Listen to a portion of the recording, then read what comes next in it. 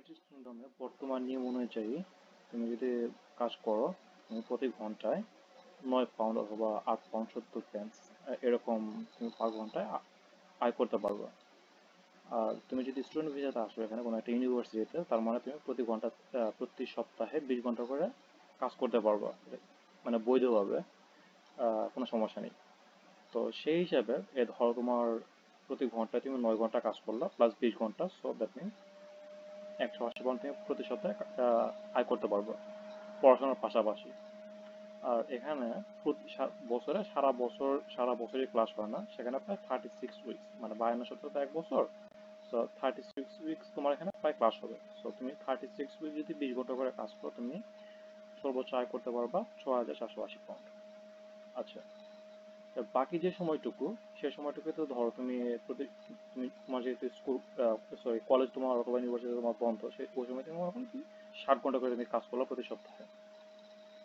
তো সেক্ষেত্রে তোমার ইনকাম হবে ওই বাকি পরের পিরিয়ডে seven thousand five hundred sixty তো এই দুইটা মিলে মানে সব সবগুলো মিলে প্রতি বছরে তোমার ইনকাম হবে চোদ্দ হাজার চল্লিশ পাউন্ড যেটা প্রায় বাংলাদেশে টাকা পনেরো লাখ টাকা গিয়ে দাঁড়ায়। কিন্তু তোমার টিউশন ফি হচ্ছে কত টাকা? উনিশ হাজার চারশো পঞ্চাশ পাউন্ড তো তার মানে তোমার এখনও ঘাটতিতে থেকে যাওয়া প্রায় পাঁচ লাখ টাকার মতো থাকা খাওয়া সব কিছু মিলে আরও চার লাখ টাকা। সো সব কিছু মিলে তুমি দশ লাখ টাকার মতো ঘাটতিতে থাকবা। তো সেখানে একটা ডিফারেন্ট আর একটা ম্যাথ করা যায়। সেটা হচ্ছে গিয়ে তুমি যদি মনে করো যদি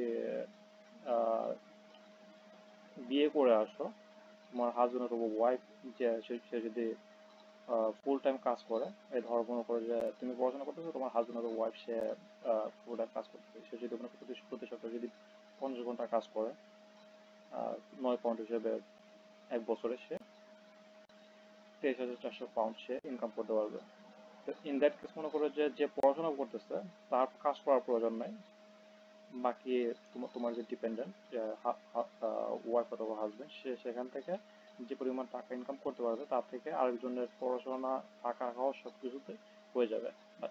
একটা জিনিস মনে রাখতে হবে, সেখানে তোমাদের একটু মিতব্যয়ী এবং কেয়ারফুল হতে হবে, তোমরা যে টাকা পয়সা খরচ করব আর কি, কীভাবে খরচ করবে সেই হিসাবে তো যদিও উনিশ হাজার পাউন্ড অথবা বিশ বিশ হাজার পাউন্ড যেটা বাংলাদেশে টাকা বিশ লাখ টাকার মতো হয় প্রতি বছর পারে যে অনেক টাকা পয়সা অনেক টিউশন ফি কিন্তু একটু কেয়ারফুলি চিন্তা করলে তুমি যদি পরিশ্রমী হও, আসলে কোনো, সেটা কোনো ব্যাপারই না। তো তারপর তোমাদের যদি কোনো যদি কোশ্চেন থাকে, জিজ্ঞেস করতে পারো, আমি ট্রাই করব আনসার করার জন্য। ভালো থাকো বাই